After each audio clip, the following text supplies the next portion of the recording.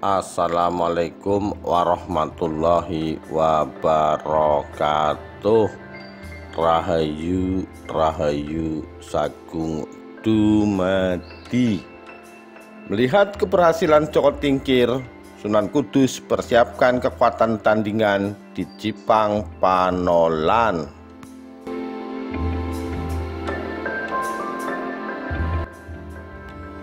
Banyak spekulasi merebak di kalangan Istana Demak akibat peristiwa di Pegunungan Prawoto.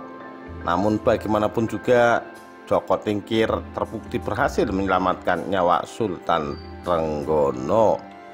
Sunan Kudus memberi masukan kepada Sultan bahwasannya Joko Tingkir adalah sosok berbahaya bagi Demak Bintoro.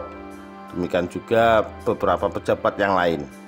Namun keberhasilan Joko Tingkir menyelamatkan nyawa Sultan bukan berarti tidak harus dihargai.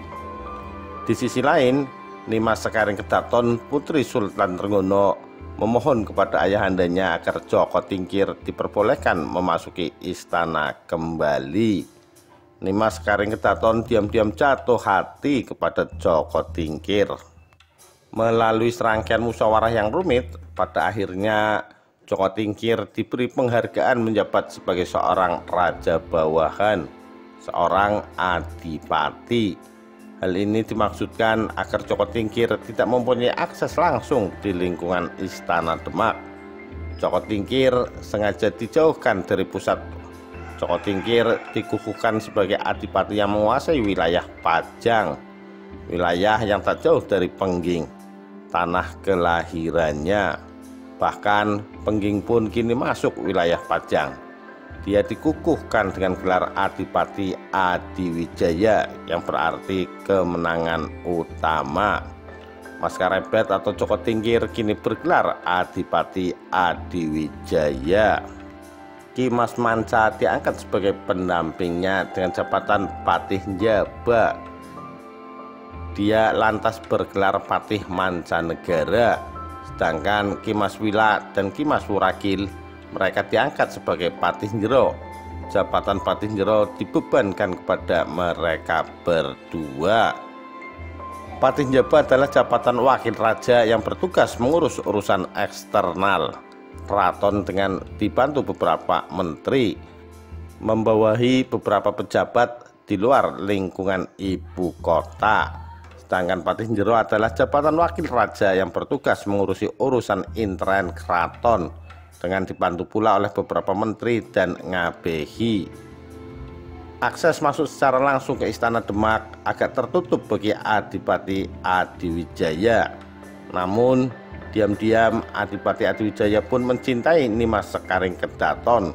Hubungan diam-diam di antara mereka ini memang sudah jauh-jauh hari terjalin atas saran Kimas Manca atau Patih Mancanegara Adipati Adiwijaya meminang Nimas Kedaton. Selain atas dasar cinta, Nimas Sekaring Kedaton bisa dijadikan akses masuk ke dalam istana Demak. Pinangan pun dilayangkan Adipati Adiwijaya ke hadapan Sultan Trenggono. Sultan Trenggono sedikit keberatan namun Nimas Sekaring Kedaton mengancam akan bunuh diri jika pinangan Joko Tingkir ditolak. Maka Sultan Trenggono terpaksa menerima pinangan tersebut. Akhirnya Adipati Adiwijaya berhasil memperistri Nimas Sekaring Kedaton. Hubungan ini sangat ditentang oleh Sunan Kudus.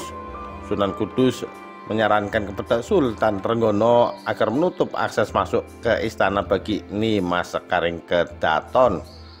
Nimas Sekaring Kedaton dicap telah murtad karena memilih suami beragama kafir.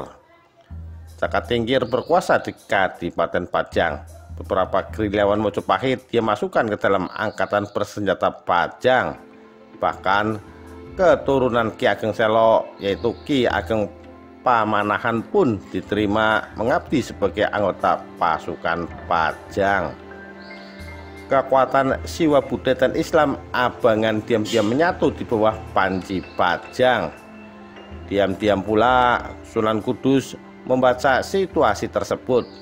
Pajang tidak boleh dibiarkan. Sunan Kudus kembali menggalang kekuatan militer khusus yang sepenuhnya berada di bawah kendalinya. Pusat kekuatan militer Gemlengan Sunan Kudus ini berada di Kadipaten Jipang Panolan.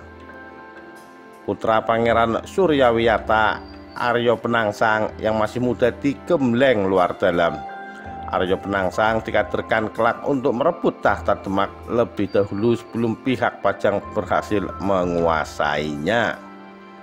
Dua kekuatan militer saling berseberangan berkembang di kalangan angkatan bersenjata Demak. Dan dua kekuatan ini kelak akan berhadapan dalam perang mengerikan yang berdarah-darah. Demikian kisah keberhasilan Joko Tingkir menjadi adipati Pajang. Sekian, terima kasih. Wassalamualaikum warahmatullahi wabarakatuh. Rahayu, Rahayu, Sagung, Dumadi.